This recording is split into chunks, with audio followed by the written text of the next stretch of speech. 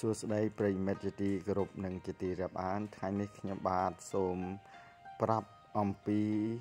ផ្លូវដឹកថ្ម ក្នុងសម័យអង្គរដោយសារយើងបានឃើញ នៅប្រាង្គប្រាសាទធំធំ ក្នុងតំបន់អង្គរជាច្រើនខ្នង ដែលប្រាសាទទាំងនោះហើយធ្វើឲ្យប្រវត្តិវិទូបុរាណវិទូ និងអ្នកទស្សនាព្រមទាំងប្រជាជនខ្មែរជាច្រើន បានឆ្ងល់អំពីការដឹកថ្មមកកាន់កាលឋានតើគេដឹកថ្មដោយវិធីណា តាមរបៀបណា ជាស្ដែងស្រាប់អ្នកស្រាវជ្រាវជំនាន់មុនបានគិតថាការដឹកថ្មគឺតាមស្ទឹងសៀមរាបដោយដំរី និងក្នុងព្រែកជីកព្រែកស្មោច ដើម្បីស្វែងរកការពិតនាពេលបច្ចុប្បន្នយើងនេះណា30ម៉ែត្រហ្នឹងគឺថាផ្ទៃក្នុង30ម៉ែត្រហើយនៅខាងលើបន្ទប់នេះមួយខាងនេះតែ15ម៉ែត្រខាងនោះខាងខាងខាងត្បូងធំជាងតិចណាហើយបានជំរាបវា15ម៉ែត្រចឹងទៅណាហើយជម្រៅវាប្រហែលជា2ម៉ែត្រជាង2ម៉ែត្រ2ម៉ែត្រ2 2ម៉ែត្រកន្លះនេះខាងលើនេះរូបថ្មយើងទៅមើលណាដែលនៅកណ្ដាលហ្នឹងមិនមែនមានម្ដុំទេមានច្រើនដុំណា ហើយរូបភាពមួយទម្រង់របស់ថ្ងៃវានៅមានដើមជើងដុំយើងឃើញរូបភាពជាមិនជា original បើថាជា authenticity នៃ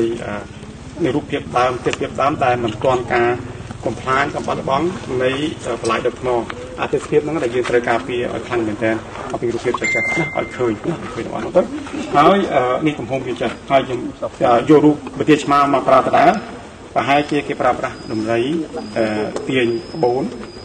ដាក់ថ្មរបៀបនេះណាអានេះមិនទាន់ confirm ទេប៉ុន្តែយើងនៅភាសាបន្តក៏យើងមកគិតពិចារណាពិចារណាហើយគាត់ដឹងថាដឹងឲ្យប្រកាសថាផ្លិតដឹកថ្មចាស់ហើយចាប់ពីពេលនេះតទៅគឺយើងត្រូវឈប់ឈប់គិតអំពីព្រែកសមុទ្រកំពង់ឃ្លាំងថ្នោតចែក ជាផ្លូវដឹកថ្មចូលទន្លេសាបទៀតណាព្រោះតាមផ្លូវនោះវាវាជិត100គីឡូហើយបើយើងតាមផ្លូវនេះតា45ណា45គីឡូទេណាកាត់រហូតដល់មក45គីឡូទេបាទហ្នឹងហើយអឺនឹងឲ្យមានមានប៉ុណ្ណឹងយើងនឹងទៅមើលកន្លែងដឹកថ្មនេះបាទអឺមើលសំទុះកន្លែងថ្មធ្លាក់ធ្លាក់ធ្លាក់ទៀតជាអង្គរប្រហែល6 7ម៉ែត្រហើយទៀតជាក្នុងទន្លេវារហូតពីទន្លេសាបវាខុសគ្នា45ម៉ែត្រ50 60ម៉ែត្រអញ្ចឹងណាតាមបន្លែខ្លះ70ម៉ែត្រខុសគ្នាណា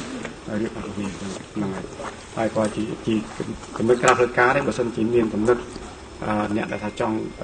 ប្រើប្រាស់ទឹកខ្វះទឹកបូមទឹកពីទន្លេសាបមកប្រើវិញដូចជាយើងយើងបូមឡើងក្នុងដងអញ្ចឹងណាហ្នឹងហើយវាវាអត់អត់អត់វាខាតប្រយោជន៍ច្រើនយើងត្រូវតែប្រភពយើងនៅខាងលើនេះការពារស្អាតដូចពីបុរាណទៅហើយស្ទាក់ទឹកពីទឹកភ្លៀងទៅប្រើប្រាស់បរាយអីបរាយចាស់ អូបឹងនៃស្នាយទៅអាហ្នឹងវាបានទៅប្របាជាងយើងបូមពីទន្លេបូមណាហ្នឹងអូវាខុសអស់លុយច្រើនណារបស់ដែលមិនអស់លុយយើងប្រើទៅកំពុងបាទតែយើងដើរទៅដើរទៅប្រហែលជា300ម៉ែត្រទេដើរតាមនេះណានឹងដើរតាមផ្លូវដែលគេលើកទៅដល់ចុងកន្លែងដែលចាប់ដើមវាកាច់ទៅសាមែនទែនកន្លែងហ្នឹងគឺមានថ្មធ្លាក់វាឃើញនៅក្នុងបាតស្ទឹងផងនៅក្នុងច្រាំងផងវាច្រើនរាប់សិបដុំណារាប់សិបដុំជាជាបន្ទាប់ពីការ ពន្យល់របស់លោកបណ្ឌិតអឹមសូរិទ្ធីដែលមានជំនាញផ្នែកបុរាណវិទ្យានិងការស្រាវជ្រាវនៃអញ្ញាធិជាតិអប្សរាលោកបានពន្យល់ជាច្រើនអំពីប្រភពថ្មផ្លូវដឹកថ្មអូដឹកថ្ម ពីតំបន់អូថ្មដាប់មកកាន់អង្គរបាទដោយចាប់ដើមរត់ត្រង់ ពីអង្គរទៅកាន់បន្ទាយក្បាលចិន និងពីបន្ទាយក្បាលចិន ទៅកាន់អូថ្ម10មានលក្ខណៈវាចវងបន្តិចបាទតែនៅក្នុងចំណុចអូឬក៏ប្រឡាយក្នុងមន្ទីរក្បាលចិននេះ យើងបានឃើញថ្មបុរាណជាច្រើនដុំបាទរាប់សិបដុំនៅក្នុងបាតស្ទឹងនិងនៅក្នុងគែមស្ទឹងបាទ តើមកខ្ញុំសូមបង្ហាញអំពីតំបន់យកថ្មយ៉ាងធំ គឺអូថ្មដាប់ដែលជាតំបន់យកថ្មនាសម័យអង្គរដែលមានទីតាំងក្នុងភូមិទឹកលិចបច្ចុប្បន្នទីនេះគឺមានការយកថ្ម